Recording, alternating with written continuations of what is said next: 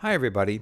In this video I'll be talking about Mongo and MapReduce. Really I'll be focusing more on MapReduce than Mongo and we could do MapReduce in Cassandra using something called Hadoop. Hadoop is, you may have heard of it, it's fairly famous. It's an Apache project that's really a framework that's designed for doing distributed processing of large data sets. So how can you write a program that'll run on a multiple data or on multiple machines in a cluster that'll work with these large data sets?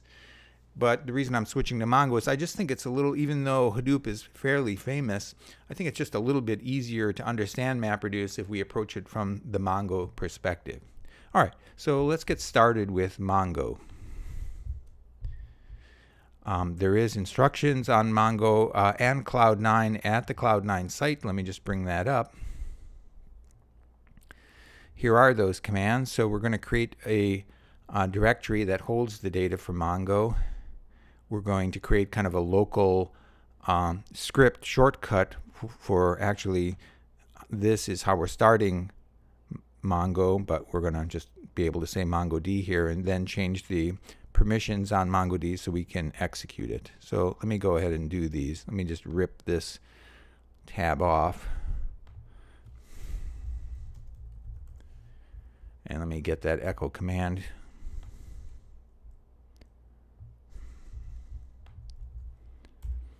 And let me change those permissions.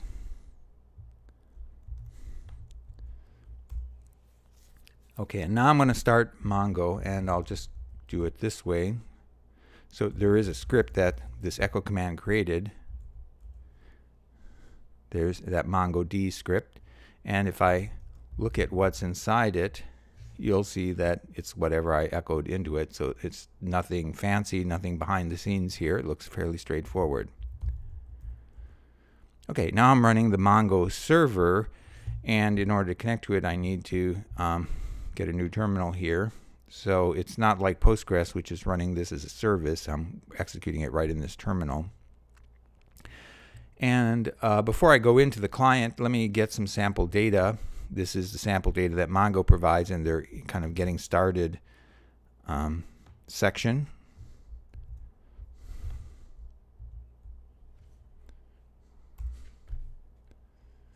And that I just got a file locally here dataset JSON. Whoop. That's not the way to do it. Oh, excuse me. All right, that actually is a little better. All right, and now let me import that um, into, uh, I'll create a database called uh, test. Nothing very exciting here. I'll, this collection is Mongo's um, way of this of it's the equivalent of a table. So it's really a collection of documents rather than a table has these ideas of columns and rows. Collection is just this collection of documents, but it's sort of roughly equivalent to a table in Postgres. And let me call that restaurants. And if it exists, I'll drop it. Okay, I think that's good. All right, and that looks reasonable. So let me go into the client, and that command is just Mongo. And I can look at the what databases there are by just saying show DBSs. So I have not very many. I have that test uh, database that I created. And let me use that test directory. And now I can show collections, the equivalent of those tables and we see that I have the restaurant one. So let me just take a look at uh, one of those entries. So this is, would be the equivalent of just a select statement where I don't have any of the where clause. So it's kind of select from restaurants, the equivalent of. So that syntax is DB. And next is the name of this collection, again, the equivalent of a table. So in our case, it's restaurants and then what I want to do, so the kind of the equivalent of select, I could just say find here, which would find all of them. So select splat from restaurants. But let me just do one here. So I'll just say find one. So I have that entry here. This is called a document. And we have this name of the, so you see it's kind of a key, it's a JSON uh, key value representation. I have the name of a restaurant here. I have more information about it, what borough it's in, what cuisine it's in, and so on. So let me see if I can do uh, find um, the equivalent of a select with a where clause. So let me do db.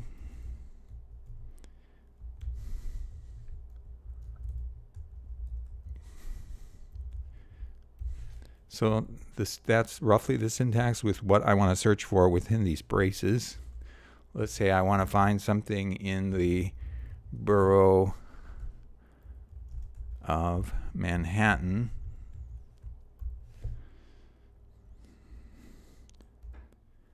And I find something within the borough of Manhattan, this uh, Irish place called DJ Reynolds Pub and Restaurant.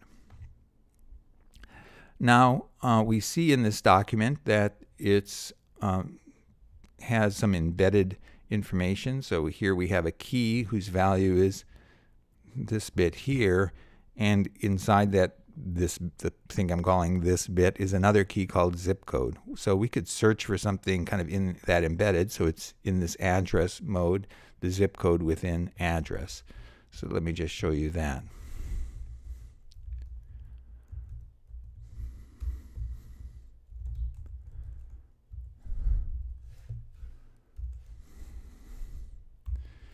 So it was address and then zip code within that. And then the zip code 10075.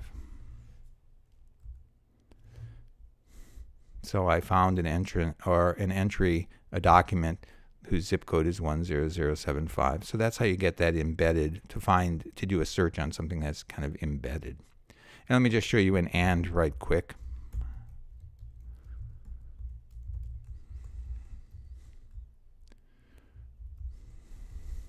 I don't know why I do this method, but I do.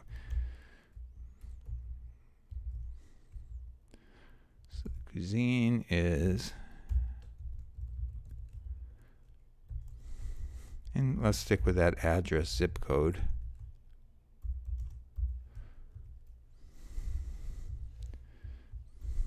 So this is sort of the equivalent of an and. So find me restaurants whose cuisine is Italian in this particular zip code and I found this Don Filippo restaurant. Let me find all of them.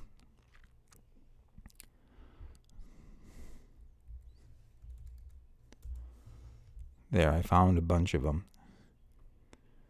All right, so that's sort of the basics. I just wanted to kind of show you the getting started bit of Mongo before I go into the MapReduce component. But there's a lot of information on their website, on, on the MongoDB website, that's fairly easy and understandable and shows you a lot more, like how to do. I just showed you and, but there's how to do or, how to do greater than, less than, all sorts of things that are fairly straightforward. So have a look there.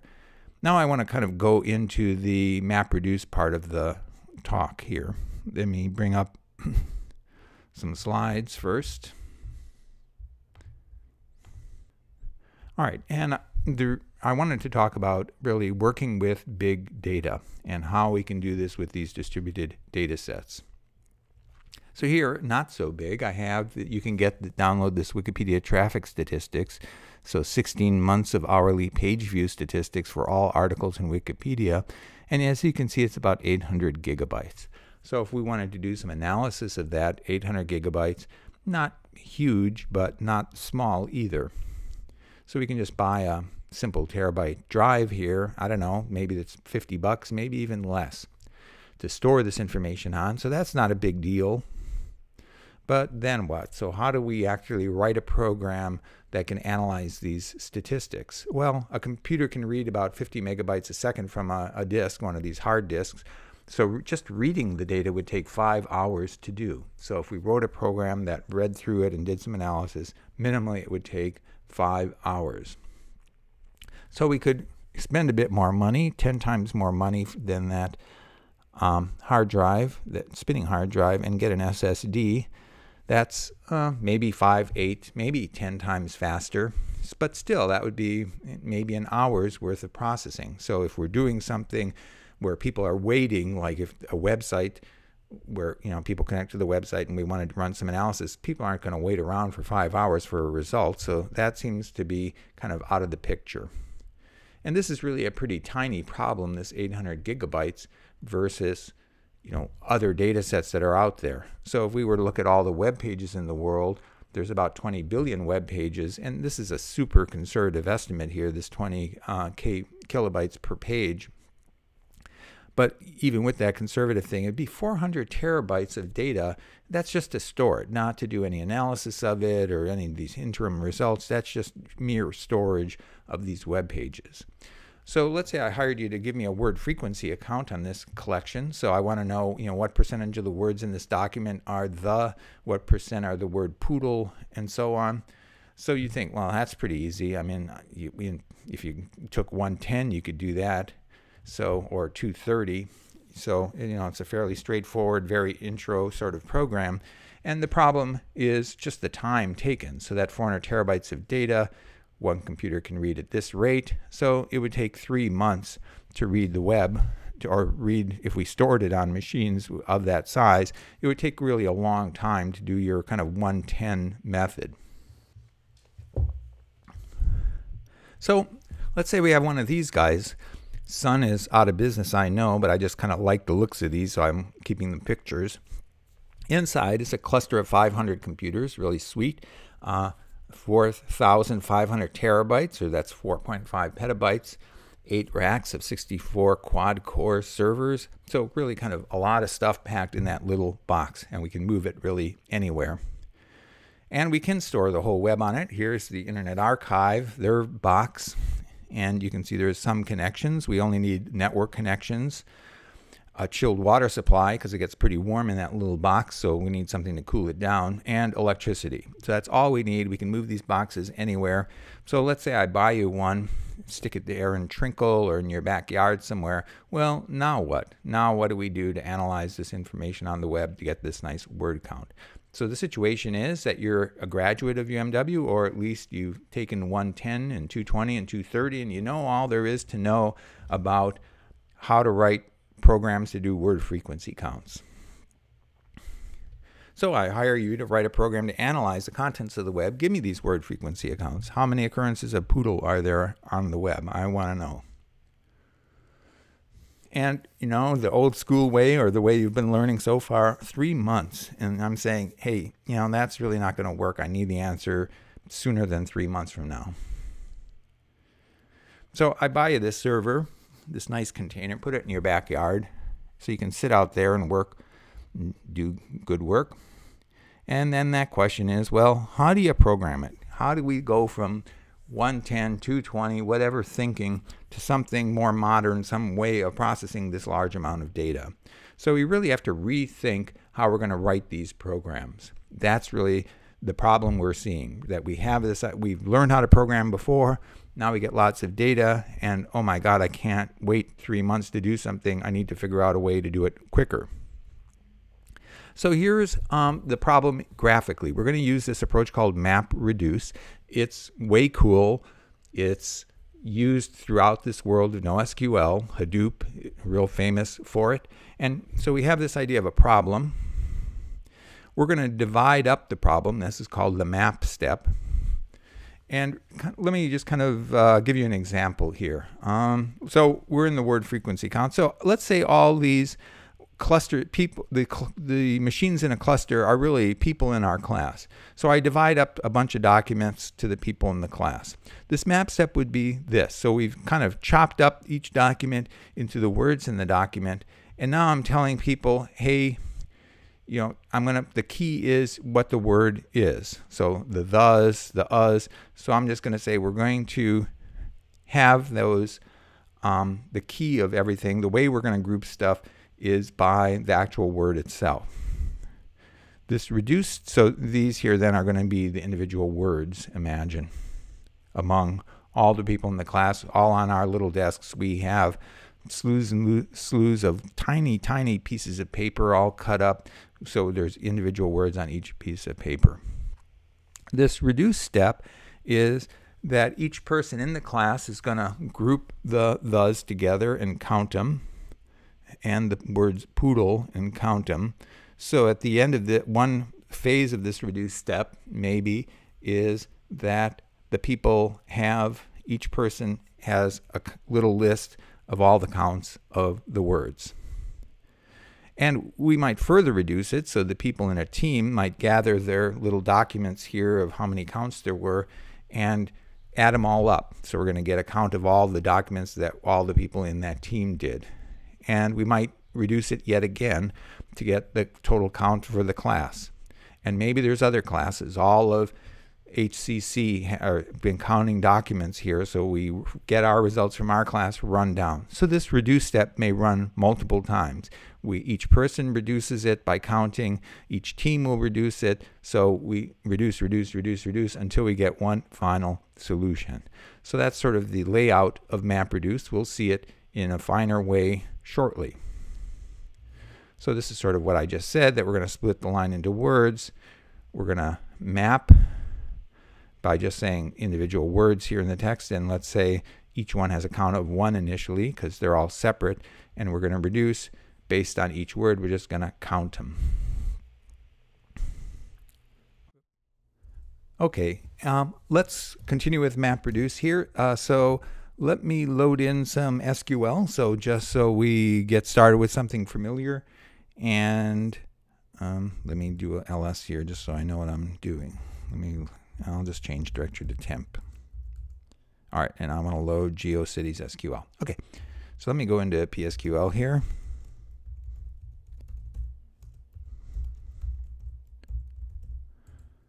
Sweet, and all right, and it was geocities.sql.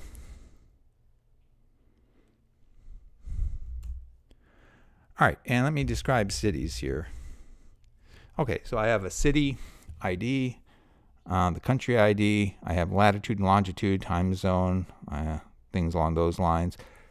And what I want to do is this. I want to find the cities within a country that are the closest together. So for each country, I want to find the closest pair of cities, if that makes sense. And I want to use I'll assume the world is flat, so I'll use Euclidean distance. And uh, just in case people don't remember what Euclidean distance is, let me bring it up here. So let's say, let me get my pen. There we go. So let's say I have a city up here somewhere, and that's at location uh, 1, 4, right there. I don't know if that's right. One, two, three. I kind of miscalculated, but oh well. And then I have a city. I'm just estimating here anyway. And then here I have one at five, one. So there's kind of the distance. I want to find out this length of this diagonal. And if you remember how to do that, it's fairly simple. So it's 1 minus 5, sorry, which is this and this squared plus 4 minus 1 squared, and take that square root. Right, so that's 4 squared plus 3 squared square root. 16 plus 9 equals 25. So the square root of 25, 5. So that's kind of the approach I want to use with this city database with lat latitude and longitude. All right. Let's give it a shot. So I loaded that in, and let me show you uh, how I think I'll approach this. And that's in temp here. I've created this query ahead of time just because I had to think about it a bit. So I'm going to create a view. Uh, so I'm going to, it's not the, it's sort of like the equivalent of creating a temporary table. Not quite. You'll see the difference in a bit. Um, so I'm creating this view, and here's the select statement. So what I'm doing first is for each pair of cities in the database, I'm figuring out the distance. So I'm going to have the country ID, the IDs of the cities, and then I'm going to compute this um, distance. So that's my goal. Then the next thing I'll do after I get that is um, then figure out what's the closest one in each state or in each country, sorry. All right, so let me, um, actually, let me save this as something else here. Give me just a second. I'll call that query one. I'll do this kind of one at a time. Let me go back to query here and do this.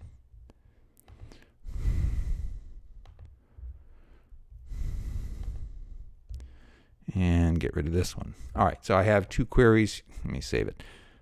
One, I'm going to create the, the, view, and one, I'm going to actually execute it. So let's um, do that. I'm in Postgres. Uh, SQL query one SQL. All right, so the view is created.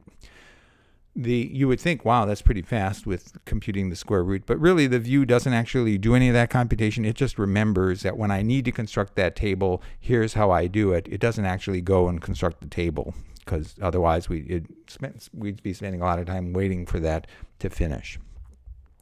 And just for uh, R8, I'm creating, grabbing the stopwatch uh, window. Let me do some moving around here.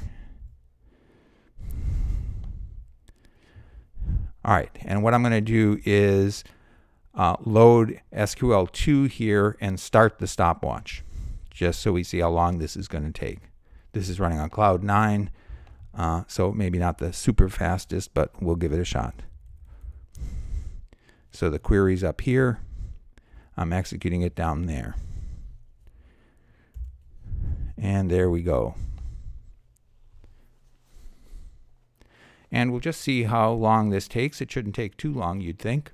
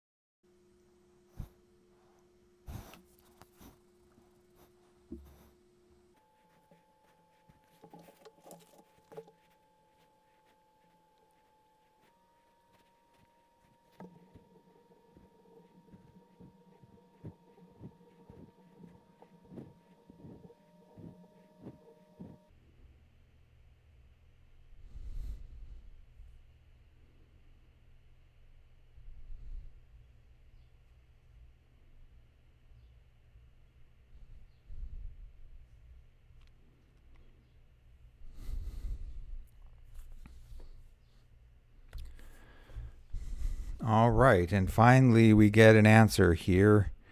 Yeah, what was it? Three minutes and 48 seconds. And there we go. So this Kabul and Mazar-e Sharif are the two closest cities in this country. Tirana and Korce, the two closest cities in this country, and so on. And that took us a whopping three minutes and I forget what it was, 40 some seconds. Let's see if we can do better with MapReduce and let's kind of review the basic um, framework that we use to solve this problem. So the SQL approach, how we handled it was first we did in step one here, computation. We computed the distance among, uh, between all these cities. So that was that. And step two then was when we did the grouping to find the, the closest ones in the countries. So that was the SQL. MapReduce has a really different idea of how to solve problems.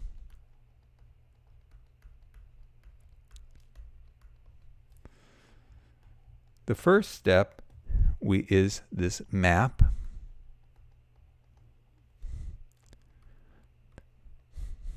As the name suggests, the second step is reduce.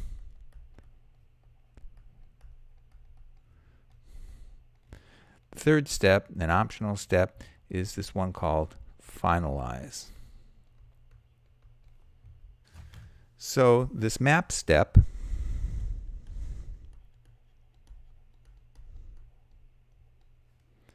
we're going to group or divide the data into sets based on some desired value, which we're going to call the key.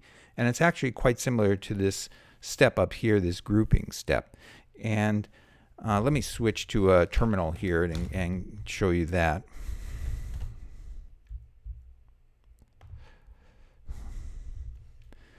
Um, the function map looks a little bit like this. So it's not going to return anything here. Oops.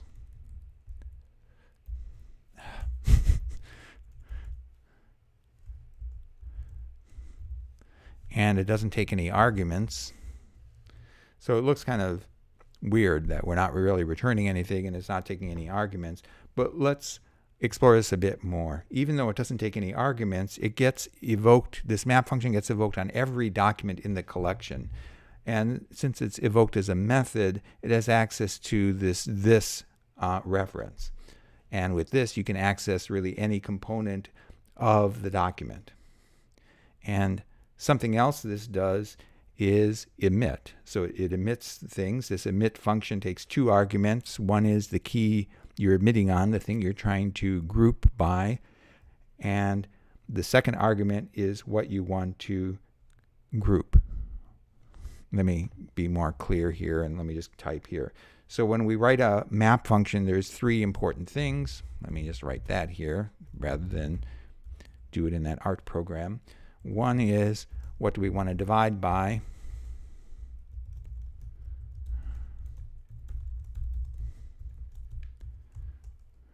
So this is the key, we're calling it. The second is what part of the data. So we're only going to grab parts of the data that we actually need to solve the problem. So this is of all the stuff, all the information in a document, what is it that we really need to solve the problem?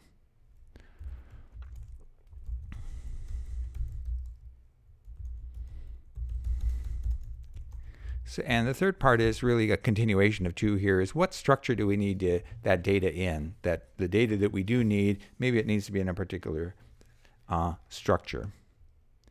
So let's see if we can answer these questions. What do we want to divide or group the data by? And what we're trying to do is we're trying to find the closest cities in each country. And I hope you're thinking, well, in this way, what we want to group or divide the data by is by country. So we want to emit here in our top function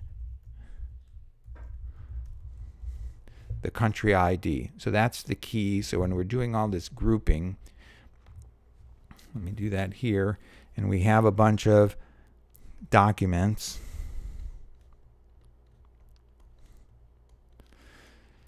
We're going to take some of those. These are from Canada, let's say.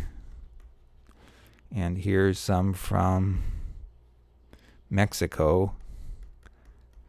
So we're grouping, collecting these documents, sticking them into groups based on this country ID. So that's this map step we're trying to do.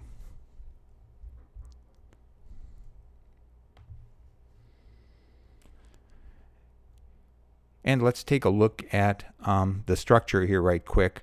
So we have um, and let me bring that window up. Boop. Let me get focus here. And let's describe, it's a very, oh, I have it up here. So here's what our city looks like. And we just need to know, well, what do we need when we group by? Well, we need this, the country ID, that's the key. We need um, well, either the city ID and city, but merely let's just keep the city name here. So we need the city. That's one thing we need. And we need the latitude and longitude. We don't need time zone. I don't know what DMAID is or code, you know, but that's minimally what we need. So we need this is the key we're using, and then the information, we'd like the name of the city certainly, and the latitude and longitude. So that answers that question of what information do we need. So we need So the first argument to emit was our key. The second is what we need the information we need to emit, and that is, uh, let's call it city here.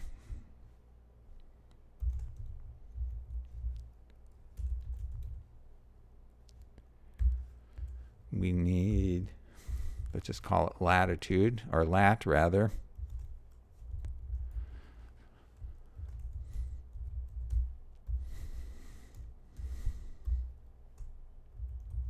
See, I don't have very clever names here.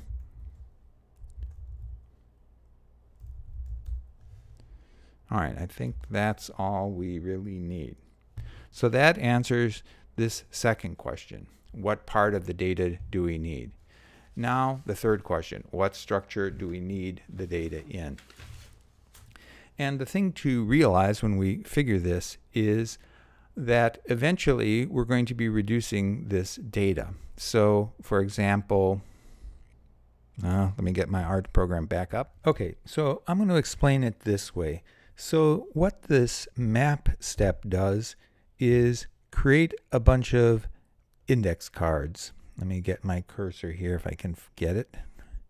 And um, so imagine that we're all each of us are sitting by a big table and these uh, index we create these index cards with the map step we have a bunch of these index cards sitting on our big table so i have a bunch of cards you have a bunch of cards and what the reduce step is going to do is we're going to start stacking those cards based on this country id over here so i'm going to create a stack of cards for country id 5 because remember that was the key we were using I'm going to create a stack of cards here for 271 and 12 and so on. So I'm going to stack these up. And you're going to do the same. Here's your, your stacks. And eventually what's going to happen is we're going to combine them. So we're going to take my stack of fives and your stack for country code 5 and combine them into one big stack here. And same with 271s. So a bunch of people are going to get together and call reduce again. So this is a reduce step. And so is this, where we're taking these stacks and combining them.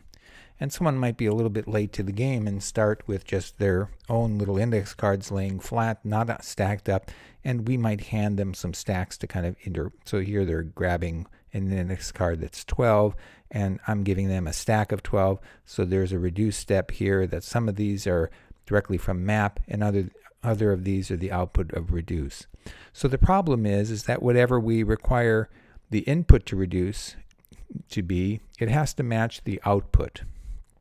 And the output is going to be a stack of cards.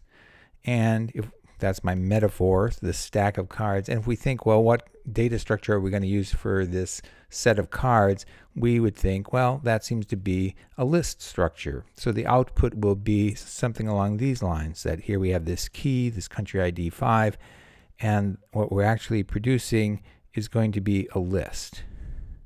Each element in the list has that information, right? So we have one element here that has city latitude, longitude, another city there. So just this list of cities that are in this country ID 5. And we're going to use that for future reduce steps. So that's why we need the input of reduce to be identical to the output of reduce. So here this was my not quite exact input or the, the output of the map function and I want that to match here. So I need to create, make these into a list, a list of one. Why are we doing that? Because the input of reduce needs to be identical, the structure of the input of reduce needs to be identical to the structure of the output. All right, so let's go back to our code here. So what I'm going to do is this. I'm going to so I'm going to emit something. I'm going to call it data here. And that's going to be a list. And that list consists of what I formerly had here. So let me kind of do some cutting and pasting to make it look reasonable.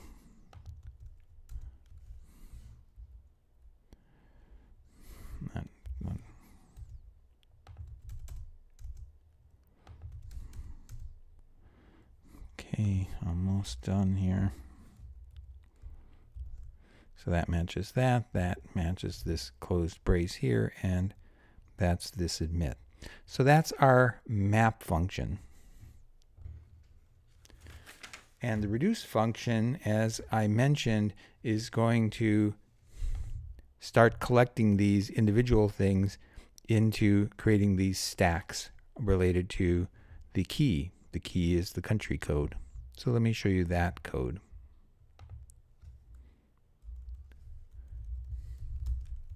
These names are not, they can be named whatever. This does take arguments. It contains a key and some values.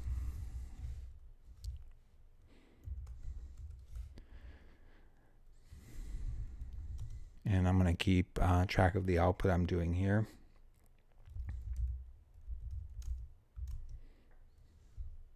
It's going to return this uh, collection of what I'm calling cards, this collection of these objects.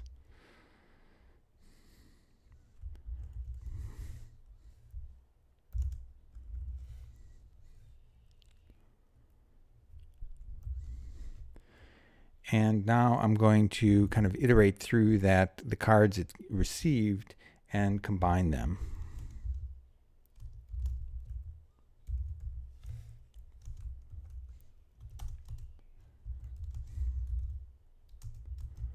So I'm getting the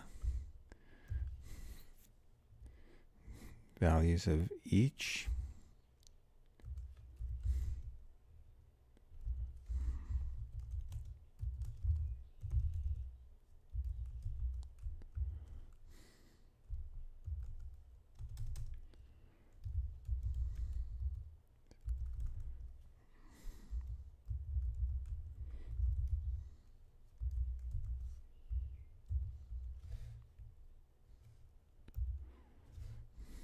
Okay, so that's just taking all these decks I'm receiving in an input and creating one large deck for each key value.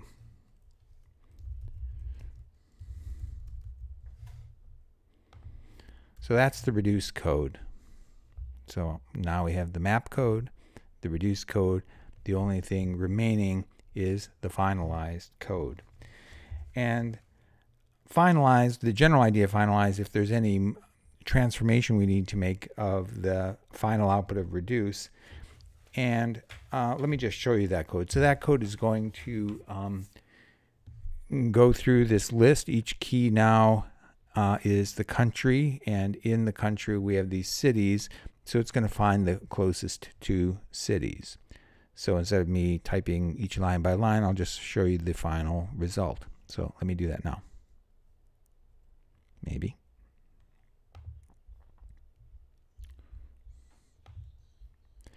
Okay, that's in temp here. So here's our map function that I typed in. Hopefully it's identical.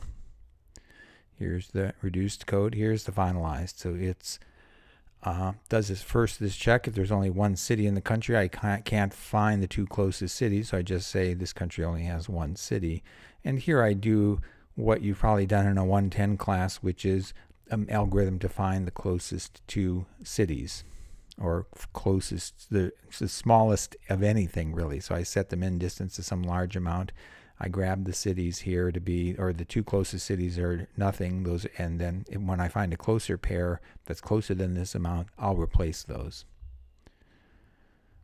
Right. So I go through this loop for each city in this country and an inner one for each city in the country.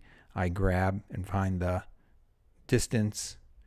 If it's smaller than the minimum distance, I update the results. So that's what I do.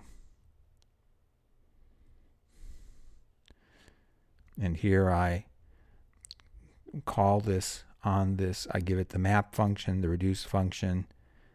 I don't include um, the code for the United States because most of the cities are in the United States. It would just create uh, slow things down. So I'm, let's say I'm not interested in that, and it's the same thing I did in the um, SQL one.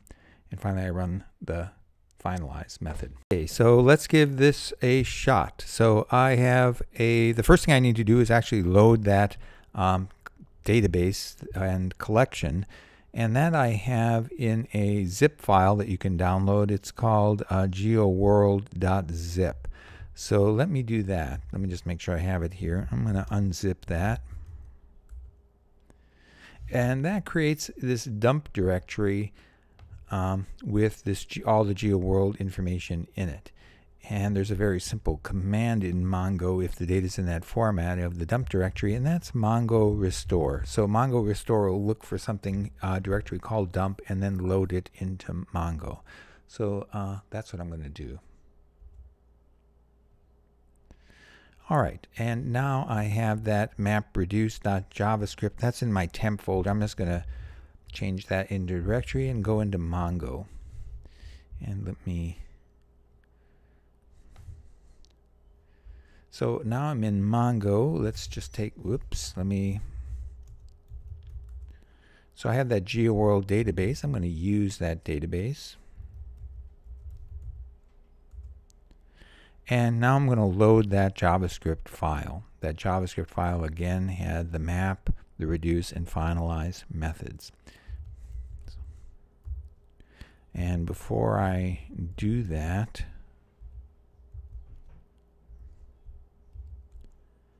before I hit return here, I'm going to get my little stopwatch thing running. So I'm going to hit return here and then quickly move to my stopwatch. Let's see if I can do this in some interesting way here.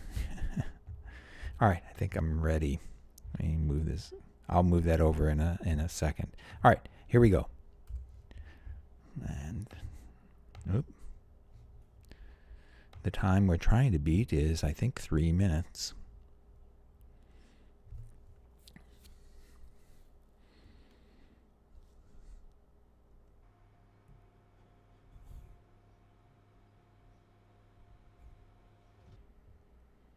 And we got the results in 24 seconds and that's pretty uh, substantial difference. And that's just running on a single computer.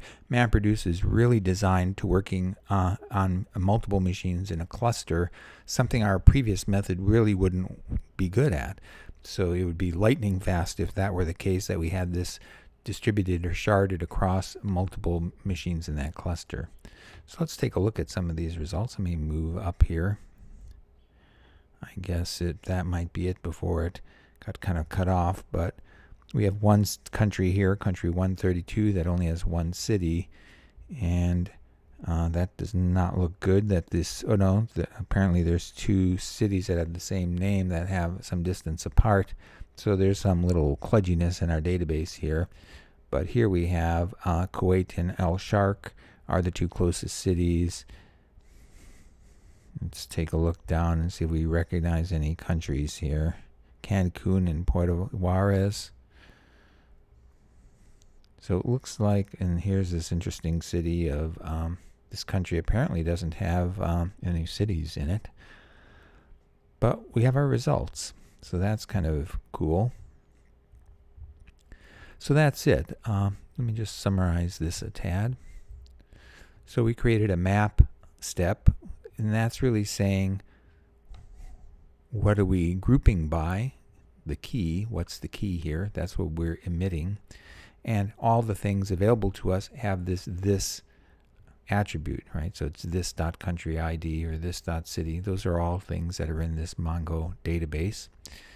And the stuff that we need to solve this problem are the following. That's this what we did here that we needed the name of the city, be pretty meaningless without the name, and we needed the latitude and longitude. We decided that this needed to match um, what Reduce was producing, so this is really the information, but we decided to put it into this list or array function and have it this thing called data. The reduce function just takes those, it's imagine all these cards on distributed on, on a table. It's the thing that's grouping these or combining them. And uh, that's what this does. It just goes through and loops things together, groups them by this ID. The finalize method looks the most complex, but really it's the most similar to other things we've done. It just finds the two close, it computes the distance between two cities and see if this, again, this runs on this key. So in, within a country, it'll find that information. So I hope that helps explain a little bit about what MapReduce is. It's kind of a cool technology, and certainly, in, once you start getting used to the examples like this, it becomes easier to write these programs that work on multiple machines across extremely large data sets. So what we're doing is kind of trivial, at least it demonstrates things a little bit just running on one machine but really the power is running on multiple machines. I hope that helps. Have a great day. Take care.